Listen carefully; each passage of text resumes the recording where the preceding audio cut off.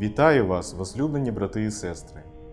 Євангеліє цього дня політематичне і складається із трьох добре відомих нам частин. Перший сюжет повіствує про всихання безплідної смоковниці. У другому ми бачимо гнів Господній, коли Він вигнав із Єрусалимського храму торгівців та міняльників.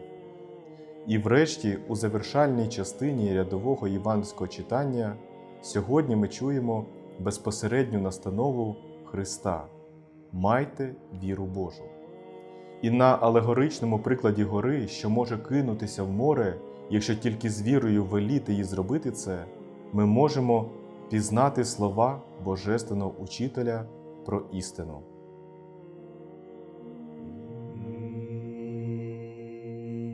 І війшов Ісус в Єрусалим і в храм, і, оглянувши все, оскільки час уже був пізній, пішов з дванадцятьма до Віфанії. На другий день, коли вони вийшли з Віфанії, він зголоднів і, побачивши здалеку смоковницю, вкриту листям, пішов, чи не знайде чого на ній.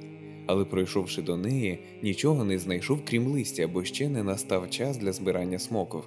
І сказав їй Ісус: Віднині хай ніхто не споживає твоїх плодів до віку. І чули ти учні його. Прийшли до Іерусалима. Ісус, увійшовши в храм, почав виганяти тих, що продавали і купували в храмі, і столи міняльників, і лави тих, що продавали голубів, поперекидав, і не дозволяв, щоб хто переніс через храм будь-яку річ, і вчив їх, кажучи, чи не написано Дім мій дома молитви назветься для всіх народів, а ви зробили його вертепом розбійників. Почули це книжники і первосвященники і шукали, як би погубити його, бо боялись його, тому що весь народ дивувався його вченню. Коли ж стало пізно, він вийшов геть з міста. Уранці, проходячи мимо, побачили, що смоковниця всохла до кореня. І, згадавши, Петро сказав йому Раві, дивись, смоковниця, яку ти прокляв, усохла. Ісус, відповідаючи, говорить їм Майте віру Божу, бо істинно кажу вам якщо хто скаже горіці і підведись, і кінця в море, і не сумніватиметься в серці своїм, а повірить, що станеться за його словом, буде йому, що тільки скаже. Євангеліє від Марка. Зверніть увагу, возлюблені брати і сестри, як євангеліст Марк описує послідовність подорожі Ісуса з його учнями. Вранці, після урочистого входу Господнього в Єрусалим, Христос із учнями поверталися у священне місто із невеликого поселення Віфанія, де провели ніч. Як і за життя Ісуса, так і нині напрямок дороги не змінився. Від Віфанії, що розмістилась на південно-східному схилі Єліонської гори до Єрусалима, шлях пролягав через низинну місцевість Кедронську долину. Єлеонська або Маслинова гора в біблійному контексті називається Горою Откровень Божих. Саме тут часто усамітнювався Христос для молитви, з її височини відкривався прекрасний вид на Єрусалимський храм. Сходження гірською дорогою це вольове зусилля над собою, подолання тіла, його втоми і знесилення. Образно кажучи, це боротьба за виконання Божого закону для піднесення себе у горній, вищий світ, це приготування до спокус.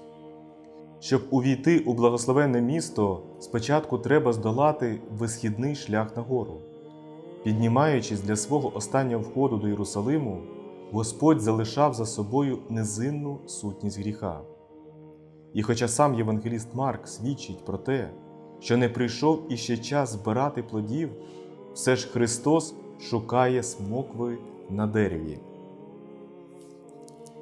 Хіба ж творець усього сущого не знав того, про що знає навіть селянин, запитує блажений Августин, що дерево о цій порі іще не плідне.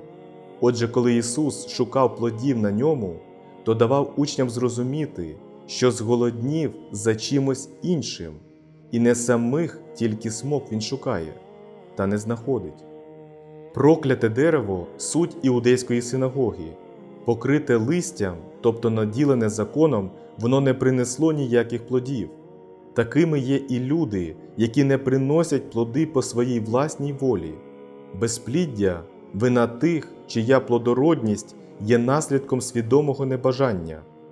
Іудеї мали слова закону, але не слідували їм, не втілювали цей закон у житті, у добрих справах. І, хоч бояли зеленим листям, покровом серед пустелі, плодів не приносили ніяких. Так вчинили міняльники і торговці. Заповнивши двір язичників, так називалась площа перед Єрусалимським храмом, що будувалася як притвор під відкритим небом. Вертеп розбійників так назвав усіх торговців Христос, влаштували торжище для власного збагачення. Користуючись велелюдністю місця, вони пропонували покупцям які завгодно товари побутового вжитку. Хоча закон постановляв шанувати скинію і не оскверняти її крадіжками, суперечками, брехнею, як це відбувається на звичайному базарі. В обох євангельських сюжетах ми бачимо, якому осуду підлягає творіння Господа, яке не виконує Його волю. А тому Христос у єдиному вислові підсумовує усе те, що бачили учні Його, та ще не вповні могли осягнути. Майте віру Божу. Якщо повірить, що усе станеться по слову Його, буде йому, що тільки скаже. Інакомовний зміст цього євангельського вірша полягає у заклику до молитви. Це закон, що його дав Христос, прямо вказуючи на всемогутню дію молитвословія. Послухаймо ж, возлюблені брати і сестри, як розмірковує над цим віршем святитель Іоанн Златоуст. Яка велика сила молитви! Вона є невичерпний скарб, непомірне багатство, тиха гавань, причина спокою. Вона є матір'ю незліченної безлічі благ і сильніша за царську владу.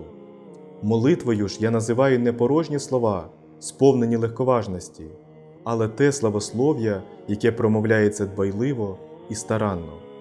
Така молитва сходить до небес, сила молитви гасить вогонь, усмиряє звірине лютування, припиняє війни, зупиняє битви, розсіює бурю, проганяє демонів, відкриває двері небес, розкриває смертні пута, зцілює хвороби, відбиває нападки зловмисників, втихомирює землетруси в містах та послані звище покарання і умиротворяє людські козні. Взагалі, усі біди долає молитва. Молитву я маю на увазі не ту, що збайдужіло промовляють вуста, але ту, що виходить із глибини душі. Дай Боже нам, возлюблені брати і сестри, навчитися творити саме таку молитву, про яку говорить Вселенський учитель церкви, і через неї виконати Богом даний закон і принести достойний плід. Будемо пам'ятати та вірити в те, що молитва Господня творить надможливе. Благословенного і молитовного вам дня, возлюблені брати і сестри!